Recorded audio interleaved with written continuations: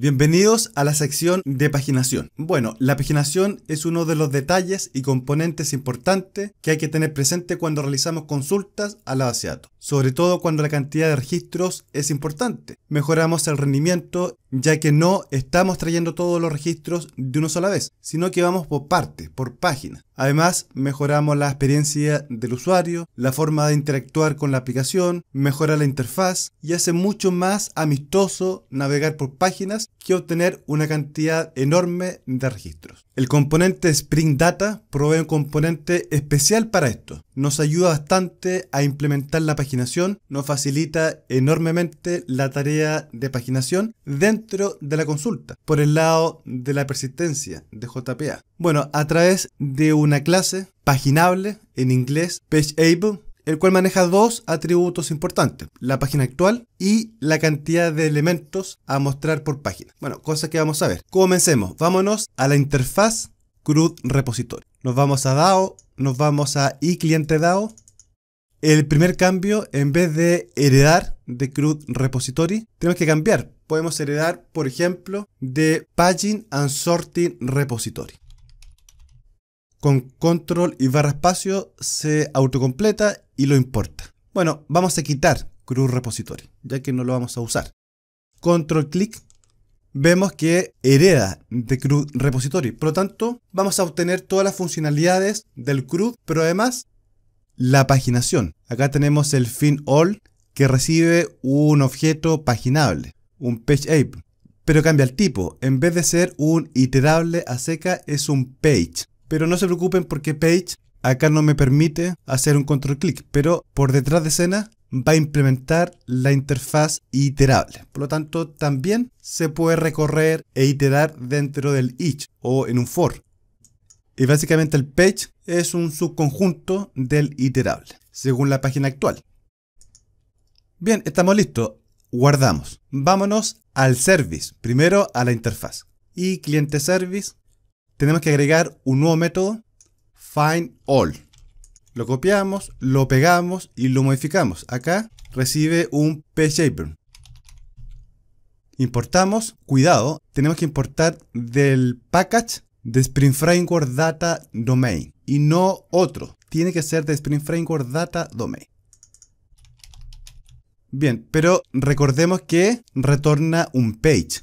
Entonces en vez de un list que es un iterable, retornamos un page que también es un iterable, un subconjunto con la cantidad de elementos o registros de la página actual. Importamos también de Spring Framework Data Domain, guardamos, nos vamos a la clase implement, cliente service implement, sobre el error creamos este nuevo método y lo implementamos. Cliente DAO find all. Recuerden también anotar con transactional, con read only en true. Perfecto, ahora, ¿qué nos faltaría? Bueno, tenemos que ir al controlador, implementar la paginación acá. Cliente controller. Si se fijan acá estamos obteniendo todos, todos los registros. La idea es cambiar esto por el paginador. Bueno, lo primero que tenemos que hacer es obtener la página actual mediante la ruta URL. Por ejemplo, podemos usar un request para. Entonces nos vamos al método listar, anotamos con request para, vamos a importar request para, el tipo y el nombre del parámetro, page. Bien, acá vamos a indicar el nombre. Bueno, básicamente el nombre es page. Ahora otro atributo importante es el default value. Y es importante que quede en cero, claro, porque si estamos en la primera página, estamos en el listado, siempre va a estar en la página cero. Bueno, por defecto comienza desde cero, no desde uno. Entonces la primera página va a ser la 0, la segunda página la 1 y así sucesivamente. Bien, entonces ahora tenemos que crear este objeto PageAble. Vamos a importar. Importamos de Spring Framework Data Domain. Le vamos a llamar page request por poner un nombre. Bien, y acá hay un detalle importante porque tenemos dos formas. La forma antigua con el operador new, por ejemplo, new page request. y pasamos el constructor que recibe la página actual, un entero page y el tamaño, es decir, la cantidad de elementos a mostrar por página, que sería el size. Bien, si se fijan, la forma antigua o anterior está deprecated, obsoleta. Esta es la forma que se usaba en Spring Boot 1.5.x, pero desde Spring Boot 2 se usa de la forma estática, sin el new. Por ejemplo, quitamos el new, ya que estamos trabajando con Spring Boot 2, page request. el método off, método estático. Y ahí sí que sí.